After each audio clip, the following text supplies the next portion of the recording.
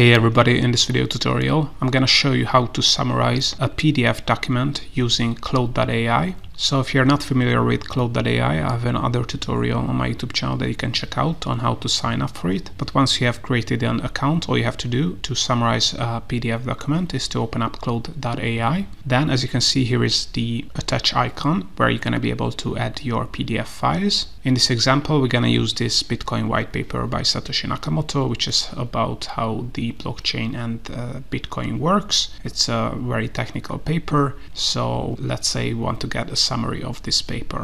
So in this example, I have downloaded this to my local computer. Then all you have to do is click on this icon here, upload your PDF document, click on open and once the PDF file is uploaded all we have to do is add our Claude AI prompt here so we're gonna use a very simple prompt summarize this PDF document for me in bullet points then click on send message here and as you can see the PDF has been uploaded to Claude.ai and based on that PDF document and the content of that PDF document Claude.ai will give us a summary of the key points from the Bitcoin white paper.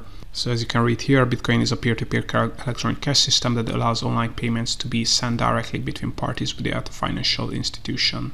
So all in all, this is how you can upload and summarize a PDF document using Claude.ai if you want to learn more about Claude.ai and other applications, make sure to check out my YouTube channel where I have a ton of tutorials on Claude.ai and I also have a ton of tutorials on other AI tools that can be used for summarizing PDF documents or asking questions about the content of a PDF document. You can use Google Bard, ChatGPT or other third-party application for this, so make sure to check out my YouTube channel and more tutorials are coming up, so make sure to subscribe.